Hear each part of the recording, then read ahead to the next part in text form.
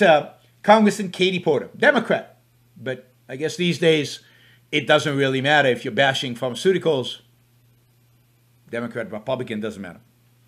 So I, am going to go over this. It's about a five minute video. We're going to go throughout the whole thing. Uh, two things I want you to know. One, one, it's her attitude, her dismissive, condescending, arrogant, who is she? What has she ever done? Attitude. She's, she's a lawyer. She's a consumer protection lawyer, the worst kind of lawyers. Second, note how pathetic the, um, the uh, drug company executive is. Pathetic in defending himself. I mean, it makes it so much worse. So much worse that he can't actually defend himself.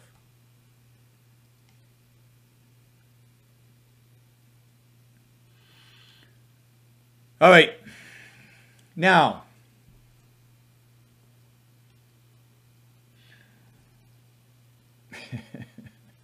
Marvin, you just have no clue about the data. You should actually study the data. You've read a book by some uh, skeptic of, of uh, chemotherapy, and uh, I know lots of people who've taken chemo. And yes, they die at some point. We all do. I hate to break it to you, but we all do. But I know people who've lasted for decades, decades, and whose life was clearly saved because of chemo. And uh, you can join you can join Steve Jobs and and juicing instead of taking chemo or instead of taking surgery when uh, when you get cancer and see how that'll that'll work for you. Unfortunately, my hero Steve Jobs was really dumb when it came to this kind of stuff. All right, let us uh, let's get to Katie, uh, arrogant, pretentious. What's the whiteboard? And of course, the pathetic, pathetic I mean, it, it, you know, the very fact that why why is the government even debating drug prices? Why is the government why is the government even why is this even an issue?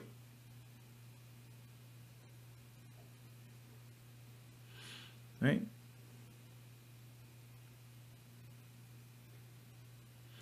Why is the government bringing in executives in business, in private business, and harassing them. All right, here we go. Whoops, no, put, clicking on the wrong button. All right, we're going to go here and we're going to press play. Mr. Alles, you were CEO of Celgene until fairly recently, and as my colleague Ms. Pressley established, Celgene makes Revlimid, a cancer drug. Revlimid is a cancer drug uh, that treats um, uh, myeloma, myeloma, and it has, over time, been uh, I.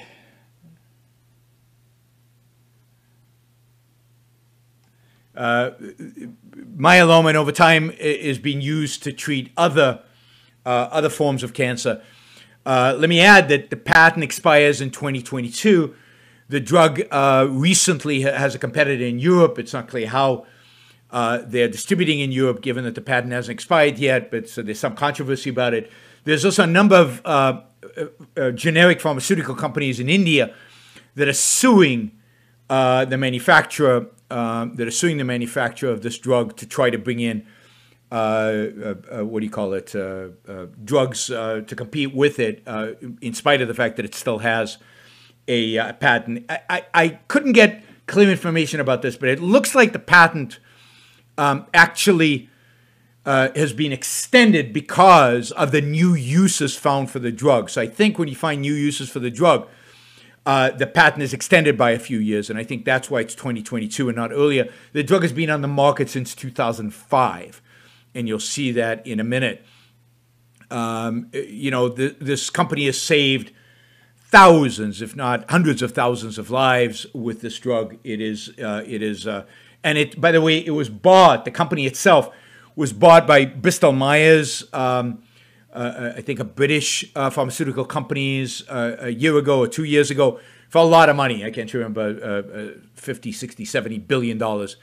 Uh, so the company is no longer an independent company. It is owned by uh, Bristol Myers, which is again one of the ways in which innovative companies cash out um, by selling to so-called big pharma. Bristol Myers would be big pharma. All right, let's listen to Katie a little bit. I'll keep interrupting her.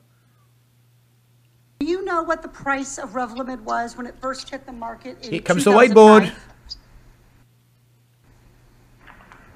I, I don't remember the number, but it was uh, Reclaiming my time. or Reclaiming my time. It was two hundred and fifteen dollars for one pill. Do you know what the price of Revlimid was in 2013? One of her tactics is not to let anybody answer the question, really. But part of this is the weakness of the CEO, you'll see.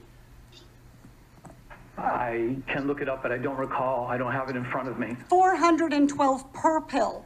How about the price? Let's get into more recent where your memory may be jogged. How about 2017? I would say approximately $700 a pill, but I, again, I don't have it in front of me. 719 per pill, and Not bad. today Revlimid is cost $763 per pill. I'm curious, did the drug get substantially more effective in that time? Did cancer patients need fewer pills? Why is that the question? So something went up in price. Why is the issue? Um, I mean, it, what she's arguing is uh, that the, the, the price should be linked. The price should be linked to what? To its effectiveness or to its increased effectiveness, not to its absolute effectiveness, its increased effectiveness. The price should be linked to, quote, productivity. She's trying to be here clever, right? So somebody asked what's the exact ROE on pharma. Look it up. It's it's fairly easy to find these kind of things. It depends on the time period you're looking at. Not very high though. All right, so basically the price has more than tripled. Um, by the way, this is not adjusted for inflation, but okay, more than tripled since 2005. Why? During that time, the uh, development of Revlimid included six additional indications, uh, some in lymphoma, and the balance in uh, patients with different Oh, great. segments I, I want to, myeloma. reclaiming my time. So, Mr. So she's not going to let him speak, right? So why is this important? Why is the fact that there's six more indications are important here? Well, because that is going to determine the demand. Demand has gone up for this drug. And there is only money manufacturer. And therefore the marginal benefit of this drug has gone up because more people can benefit from it. More diseases can be cured from it. More cancers can be treated with it. And that's why the price goes up. And while maybe there's competition for the drug in one indication, in one form of cancer, there might be in others. So it's not about inflation. It's not about productivity. In a sense, the drug has become more productive. It cures more patients. And therefore, its value has increased. And because it's under patent, the company can legitimately and legally and from an economic perspective, reasonably charge more money for it. Alles, you discovered more patients who might benefit from paying $763 a pill, but being able to use a drug for more patients doesn't necessarily more price. Is there the Why? It does. Exactly that's right. That this is the economics she doesn't understand. Demand went up. More people want this. Therefore, they're willing to pay more. Why is it? I mean, I go to back to this point. Why is it the politician's business? How much anybody is paying for a drug? You don't want to pay this amount? Don't pay. You don't want to take cancer drugs? Don't take them.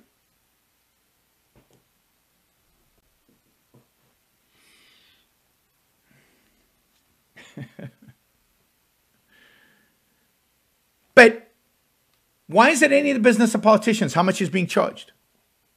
And and and notice the patron how, how patronizing she is, how arrogant she the is. The drugs start to work faster?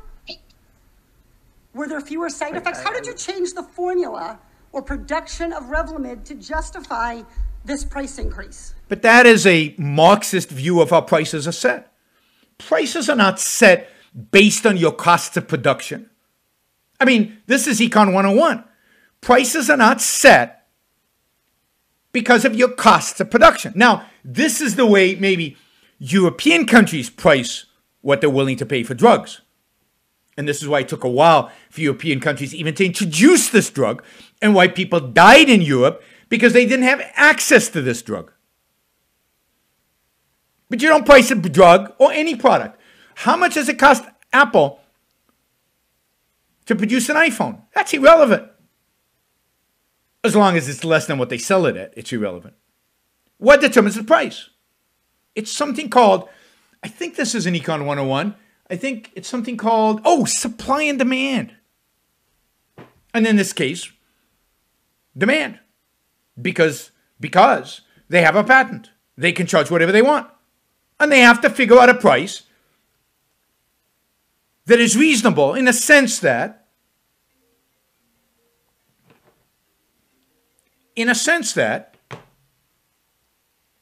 it is not so high as it would reduce the demand. It's high enough for them to recuperate all their costs. Now, notice also, and, and this is important, six new indications. How did these indications happen? The drug came out in 2005, as she said. It cost 200 and something dollars, and at the time, 200 and something dollars probably was going to recuperate their R&D. And I know I'm getting technical, but if I'm going to do a show on this, and if I'm going to show how ridiculous she is, we have to get into the weeds. Since then, they've had six new indications, six new cancers that you can treat with this drug. How did they get to that? By doing more trials, by investing more money in the drug. More money in the drug, in trials to show that it was safe and useful for these other indications. So the cost of the drug to them actually increased over time as they invested in the drug, as they invested in research, as they invested in trials, just as one drug, to show that it was efficacious for these other cancers. And now, this drug doesn't just treat one cancer. And again, the FDA makes it very, very, very expensive to do all that. So, if you do all that, for, that probably justifies the increase in cost. All right, let's keep going. The he can't answer. Pathetic. Indication changes are for subsets of different patients with disease. Reclaiming my time, Mr. Alles, I understand. claiming that. his her time. She doesn't want him to answer, even if he could. Is how did the drug improve? If I were to look at a pill and analyze it from 2005 when it cost two, that's 215, irrelevant. It improved in the sense that it treated more cancers. Would that pill be the same? I understand your question. Yeah, but a lot of research went into that pill from would be the 2005 to today. Great, thank you. So to put that in perspective, you hiked the price by $500 when the average Orange County senior only has $528 left in their bank account after they've paid their basic monthly expenses. How much of this is out of cost for an average? Uh, we're talking about Orange County, a relatively wealthy community, all on Medicaid. How much? How much does an Orange County senior pay for this drug? How much? This is a drug covered by Medicare. So, what relevance? This is pure demagoguery. What relevance does how much money an Orange County senior have in the bank account have on this? Exactly zero. But again, nobody's going to call her on it. No, nobody cares. Facts don't matter. It's great demagoguery. Right? All right. The average Orange County senior can't even afford one pill. And you said recently Orange County nobody pays the senior gets price, Medicare. But that is not correct. do uninsured patients sometimes pay the list price?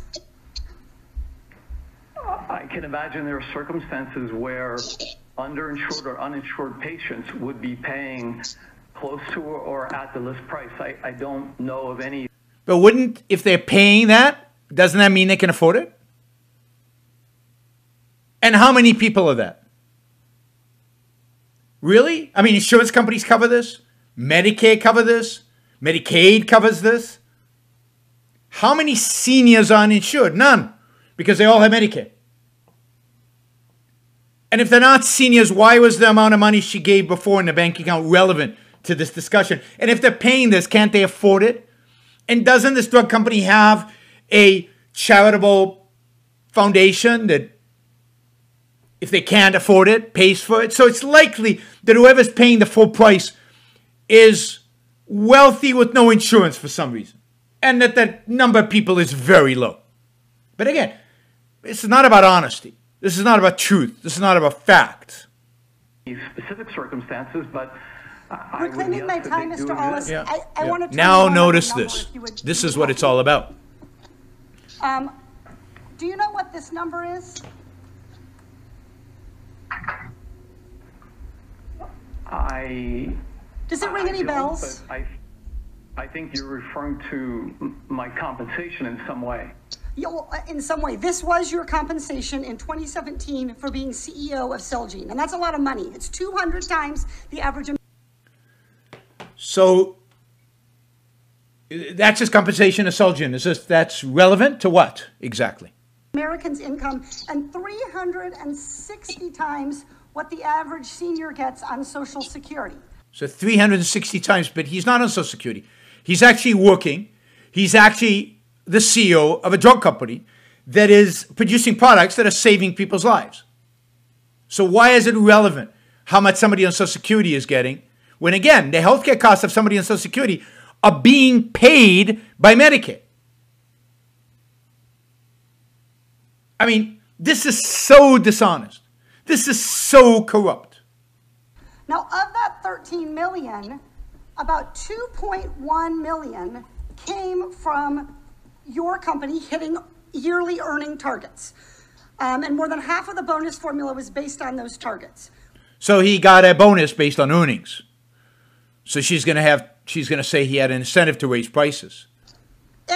Increase in the price of Revlimid would also increase your bonus by increasing earnings. Isn't that right, Mr. Alles?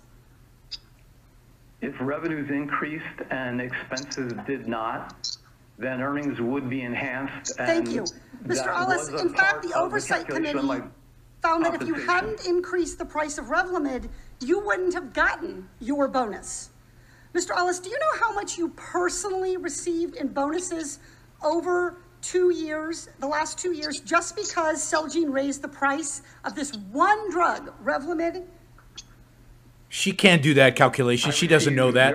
She's extrapolating. But I don't know the exact number that you're Oh, he got five hundred thousand dollars. you personally received half of a half a million dollars personally just by tripling the price of Revlimid.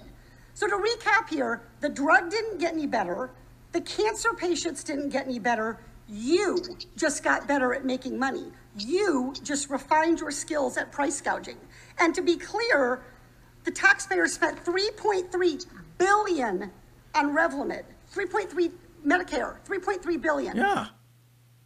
Now, no. Mr. Alles, you were CEO of Celgene until fairly recently, and as my colleague Ms. Pressley All right. I, I mean, the dishonesty. I mean, he's the CEO of a company. This company bought many other drugs, many other companies did research, did R&D, did a wide variety of things. And he got paid for that. He got paid the market price. Again, CEO salaries don't get determined by the price of one drug, they get determined by supply and demand for CEO skills. And the reason he got $13 million is because he generated value. And the reason he got a bonus is he generated a value to investors who employ him, who own the company, who own the drug.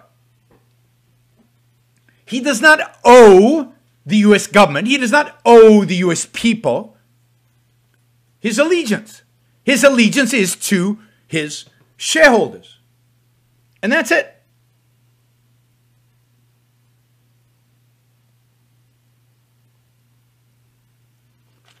So the whole this whole thing is so dishonest and corrupt. It is truly, you know, um, I don't know. and, and, and, and what's shocking to me is that people who listen to my show who still hate drug company executives, who think drug companies executives are the problem. What we need today, what I call the new intellectual, would be any man or woman who is willing to think. Meaning, any man or woman who knows that man's life must be guided by reason, by the intellect, not by feelings, wishes, whims, or mystic revelations. Any man or woman who values his life and who does not want to give in to today's cult of despair, cynicism, and impotence, and does not intend to give up the world to the dark ages and to the rule of the collectivist brute. All right, before we go on, reminder please like the show. We, have got 163 live listeners right now, uh, 30 likes. That should be at least 100. I figure at least 100 of you actually like the show. Maybe there are like 60 of the Matthews out there who hate it. But, but at least the people who are liking it, you know, I want to see I want to see a thumbs up. There you go. Start liking it. I want to see that go to 100. All it takes is a click of a, a click of a, a, thing. Whether you're looking at this uh, and, and you know, the likes matter. It, it's not an issue of my ego, it's an issue of the algorithm. The more you like something, the more the algorithm likes it. So, you know, and if you don't like the show, give it a thumbs down. Let's see your actual views being reflected in the likes. But uh, if you like it, don't just sit there, help get the show promoted. Of course, you should also share and uh, you can support the show at yaronbrookshow.com slash support or on Patreon or Subscribestar or Locals uh, and uh, and show your support for all for, for, for the work, for the value hopefully you're receiving from this. And uh, and of course don't forget, if you're not a subscriber, even if you even if you just come here to troll, or even if you're here like Matthew to defend Marx, uh, then uh, you should subscribe because that way you'll know when to show up. You'll know what shows are on, when they're on. You'll get notified, right? So, um, yes, like, share, subscribe, support. Like, share, subscribe, support. There you go. Easy. Do one or all of those, please.